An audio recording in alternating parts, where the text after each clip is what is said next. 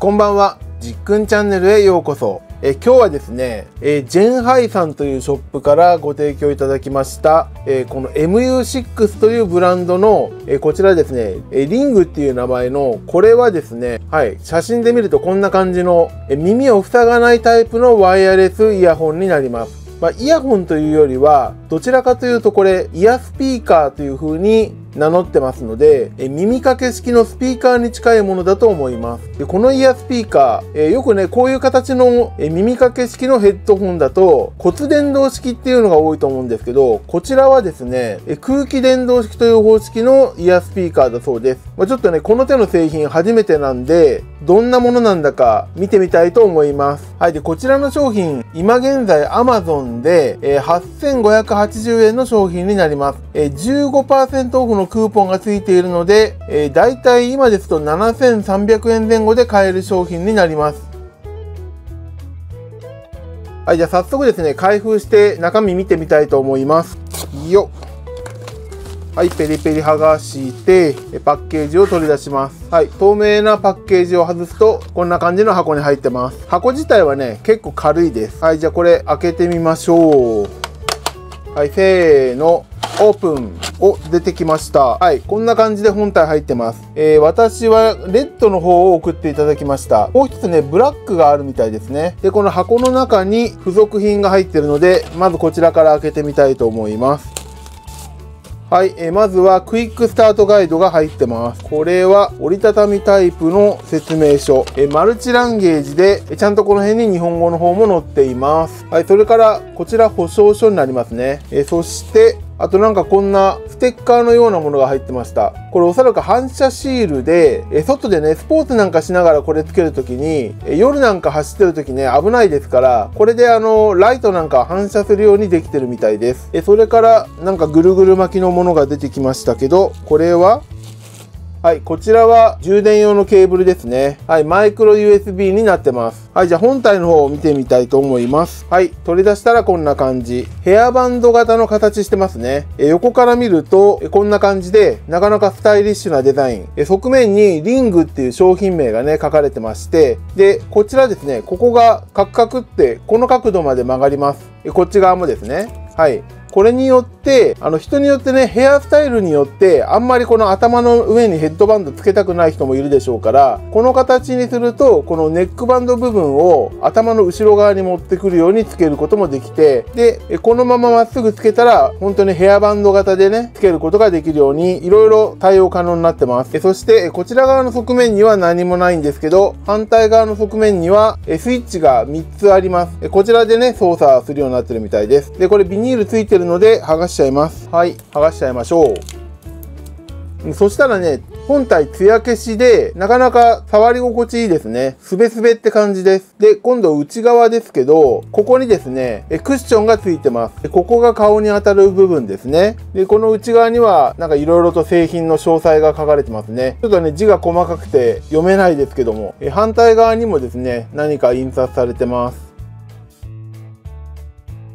はい、えー、こんな感じの商品なんですけども、えー、じゃあちょっとね、商品ページでこの製品の特徴を見ていきたいと思います。えー、まずね、装着した感じはこんな感じですね。あの、先ほどの角度が変えられる部分を、これ一番折り曲げた状態ですね。そうそうすると、えバンド部分を頭の後ろの方に持ってくることができます。で、え耳への負担がなしで開放型のイヤースピーカーですよということで、え周りの環境音や会話音を聞き逃しませんよっていうことです。はい、こちらは、女性がつけてる写真なんですけど、はい、こんな感じでね、まっすぐつけるとヘッドバンド型になるし、え角度をつけたらネックバンド型っていうんですかね、えこんな感じでも使えます。この折り曲がる角度は120度の範囲で曲げることができます。えそれからですね、えここに凹みがあるデザインなので、えこの写真のように、サングラスやメガネをかけてる人でも、このくぼみにですね、えメガネがはまるようになっていて、邪魔にならないように取り付けることができるようになってます。はい、実物で見ると、ここのところにね、溝があるので、まあ、こんな感じで、えここがですね、耳の前の部分とすると、えここにですね、メガネがはまるようになっていて、え邪魔にならないようにちゃんとね、避けてくれているデザインになってます。えそれからこちらの写真、こんだけひねっちゃっても大丈夫っていう写真ですね。これ、実際本当にそうなのかちょっとやってみたいと思います。はい。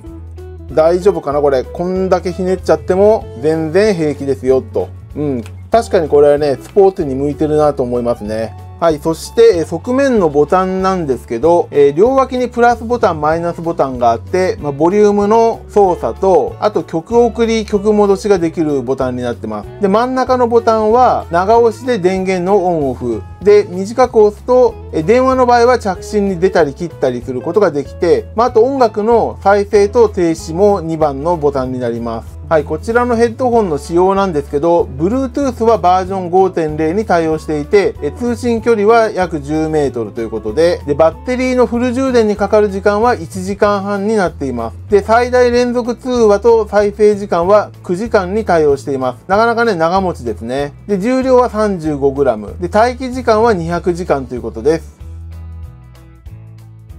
はい、じゃあですね、えー、スマートフォンと Bluetooth でペアリングしてみたいと思います。えペアリングするときは、えこちらの真ん中の電源ボタンを5秒以上長押しということなので、えー、長押ししてみます。はい、そうしたら、えこちらの LED が青と赤で交互に点滅するようになって、これがですね、ペアリングモードになります。はい、そしたらここにですね、MU6 のリング出てきたので、こちらとペアリングします。はい、ペア設定。はい、これで繋がったみたいですね。えこちら今コーデックが AAC で繋がってるみたいです。はい、じゃあちょっとね、装着してみたいと思います。えー、まずね、こちら伸ばしたまんまヘッドバンド的な感じで装着してみます。けてて違和感はあんまりない軽い感じなのでいい感じですけど、まあヘッドホンじゃないから耳塞がれないので、なんかね、本当にこれ装着してるのかなっていう感じはありますね。で、じゃあこちらをですね、こういう風にちょっと角度をつけて、え今度はネックバンド風にかけてみたいと思います。あ、こっちの方が私は装着感がいい感じしますね。えっと、この角度でつけると、このバンドの部分がですね、ちょうど耳に引っかかるようになってて、えかなりしっかりとね、安定した感じで固定されるので、まヘッドバンド式だと、これカチューシャみたいな感じで、なんかちょっとね、前後にずれちゃう感じがするんですよ。えなので私はこちら側の装着方法の方がおすすめですね。はい、じゃあちょっとね、これで曲を聴いてみたいと思います。どんな感じで聴けるのか。あー、なるほど。こんな感じなんだ。ちょっと音量操作してみます。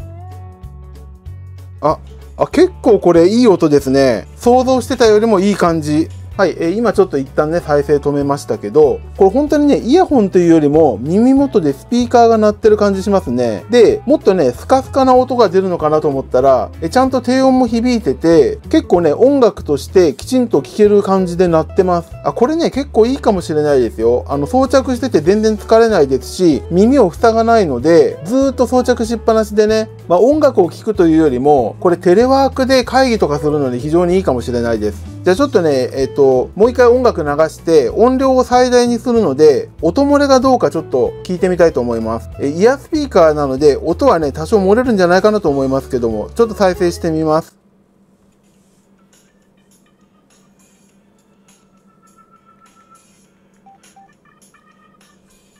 はい、今ね、ボリュームマックスにしました。で、マイクをちょっと私の耳元まで近づけてみます。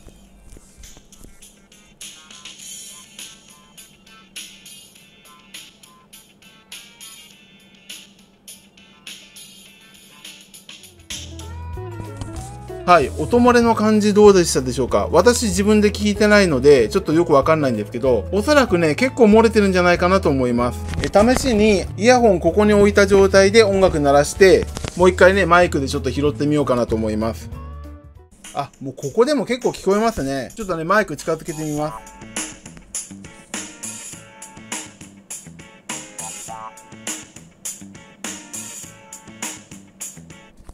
はい、どうでしょう？ここにマイク置いたら、どんな感じで聞こえてるかっていうのが、大体分かったんじゃないでしょうか。はい。これ私の感想としては、まあ、音楽を聴くんでも、まあ、結構耐えうる音質で聴けるんじゃないかなと思いましたね。もっとね、しょぼい音を想像してたんですけど、これはなかなか使えますね。じゃあね、もうちょっといろんな曲をいろいろ聴いてみたいので、ちょっとね、リスニングタイムにしたいと思います。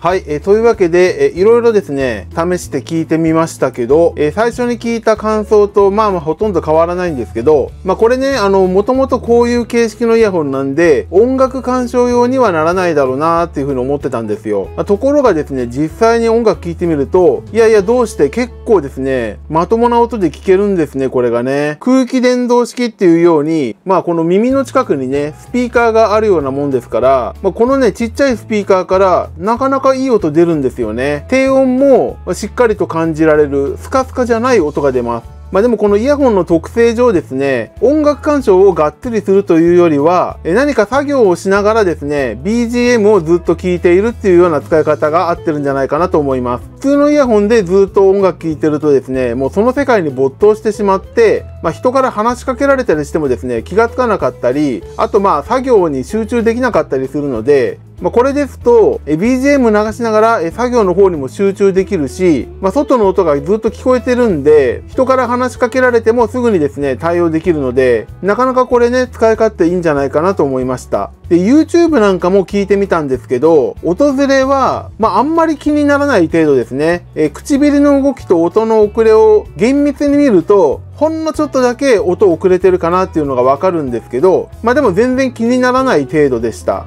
で、あとね、向いてる用途だなと思ったのは、えー、テレワークの時のオンラインの打ち合わせの時なんかにね、これ非常にいいんじゃないかなと思って、えー、こちらのマイクの方の性能がどんなもんかということで、ちょっとね、えー、こちらのマイクで喋った音を録音してみましたので、聞いてみてください。マイクテスト、マイクテスト。えただいま MU6 のリングというイヤースピーカーで話しています。音質の方はいかがでしょうか？えマイクテスト、マイクテスト。えリングというイヤースピーカー、空気伝導式のヘッドセットで話しています。音質はいかがでしょうか？はい、えー、どうでしたでしょうか、えこちらのマイクでね、録音した音、結構いい音で撮れてるんじゃないかなと思います。えこれでしたらね、長い打ち合わせでも耳の負担にならずに快適にですね、テレワークできるんじゃないかなと思いました。